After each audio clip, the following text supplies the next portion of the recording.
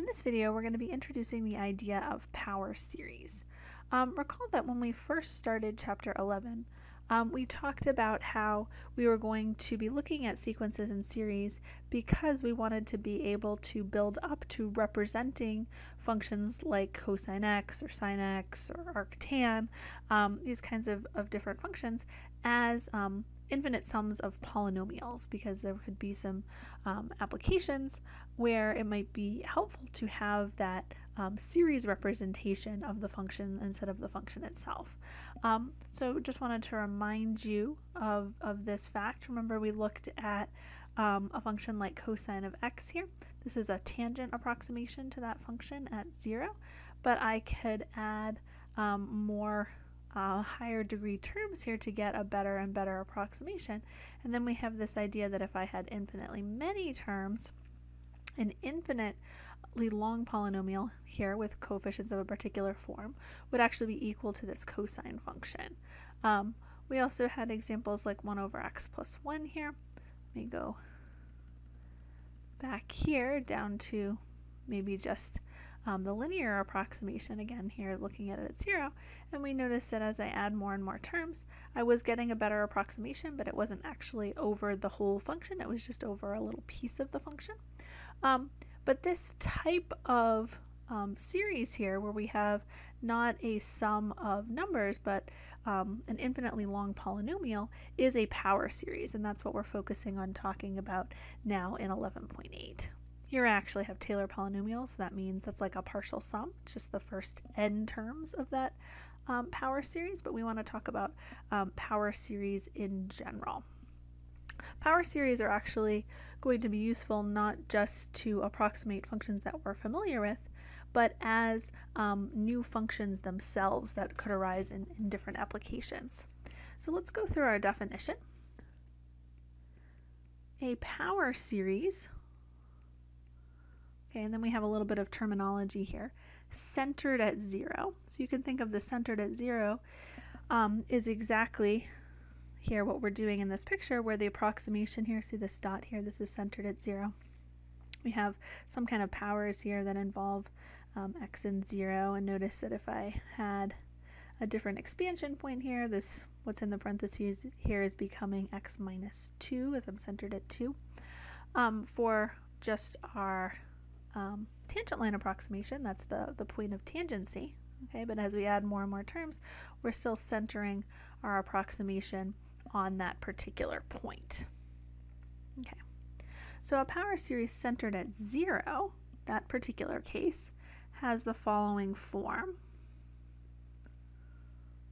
Okay, we'll have this infinite sum, the sum from n equals 0 to infinity, of cn x to the n, which would be equal to c0 plus c1x plus c2x squared plus c3x cubed, etc. So we have this idea of this infinitely long polynomials, infinitely long polynomial, excuse me, um, where these c's here, okay, are going to be some expression in terms of n.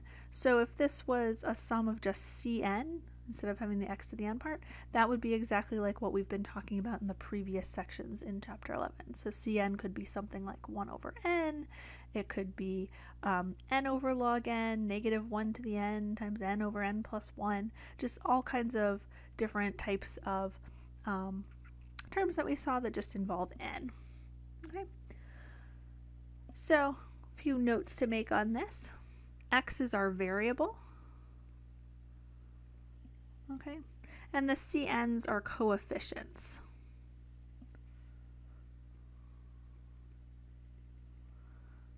Okay, and they're constants.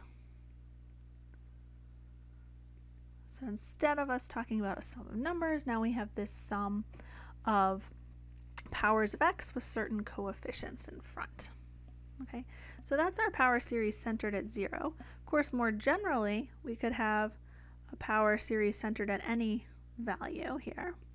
So a power series centered at A, okay, has the following form. It's a sum from n equals 0 to infinity of cn x minus a to the n. So I showed you in that previous example something was centered at 2 and I had x minus 2 in parentheses being raised to various powers. So that matches this, this definition here. So this would be c naught times x minus a to the 0 plus c1 x minus a to the first power plus c2 x minus a squared plus c3 x minus a cubed, okay, etc.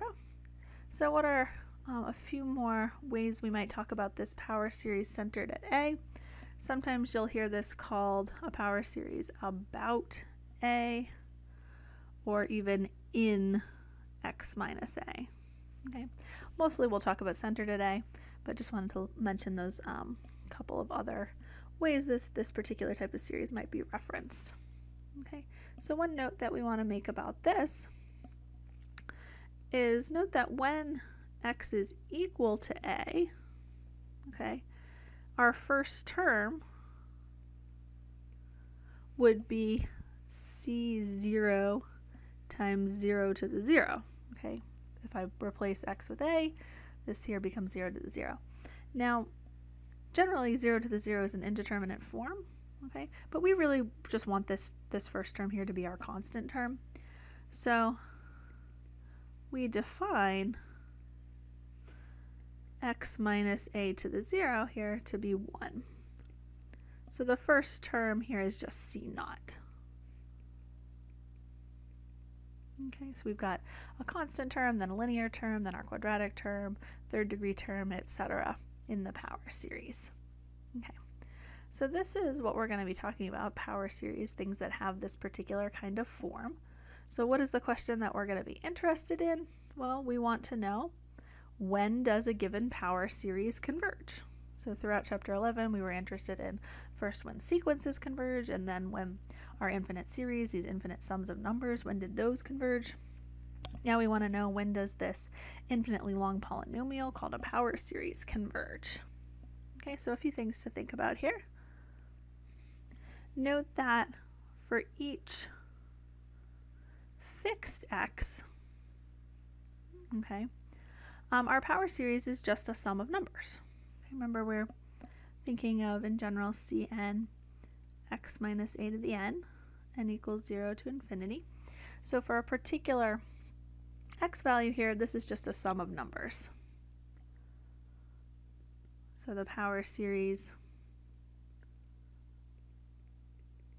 is a series of constants, just like we would have had in the previous sections.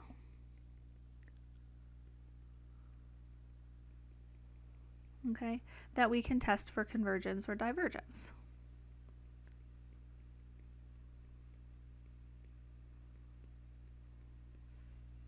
Okay.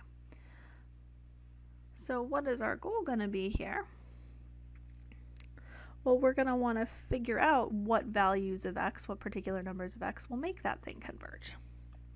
Okay, so let me write down a few more things here that we want to be thinking about. Okay, so we say that the power series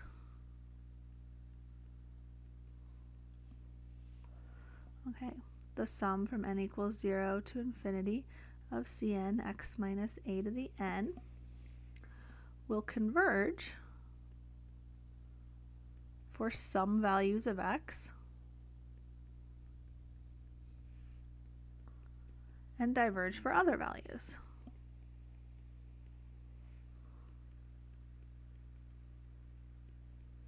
Okay, so there could be certain values of x, certain particular numbers, where that sum could be shown to be um, convergent. Other values where with a particular test we could show that the sum diverges. So our goal is to find that set of x values for which the series converges.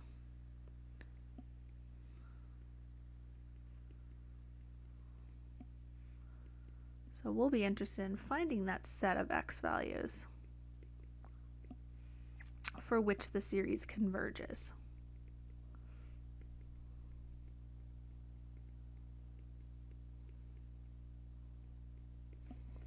Okay. So one thing to note here about um, a particular x value where all of our power series will converge Okay, so let's note that um, the power series always converges at its center.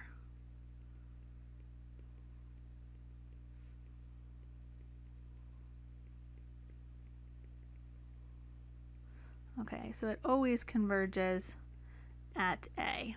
Okay, so when we talk about finding the set of x values for which the series converges, the smallest that set could be is just that it converges at the point A. But many times it'll be the point A plus um, several other values of x. Okay, so why is this that the power series always converges at its center at A? Because for x equals A, our sum from n equals 0 to infinity of cn x minus a to the n would just be equal to that initial constant term. Okay.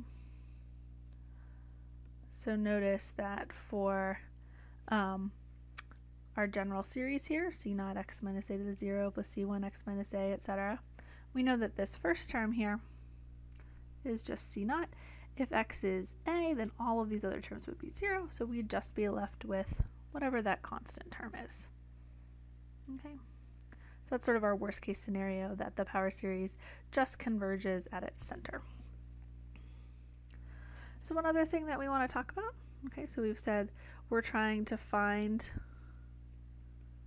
let me star a couple of these things here, maybe to highlight them.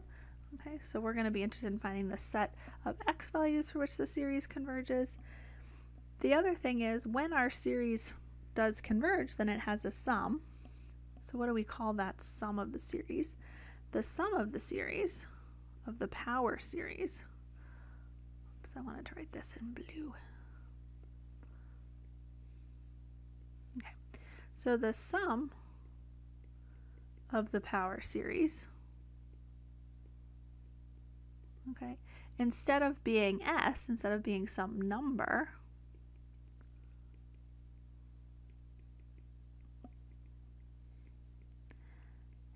is a function f of x okay, equal to that infinite sum, equal to c naught plus c1 x minus a plus c2 x minus a squared, etc.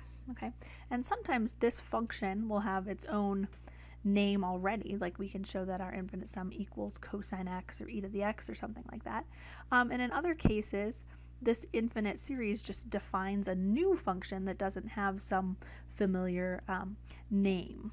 Okay, we, we often have um, functions that are defined as power series that can arise in applications. Okay, so this this function that's equal to the sum of this this series um,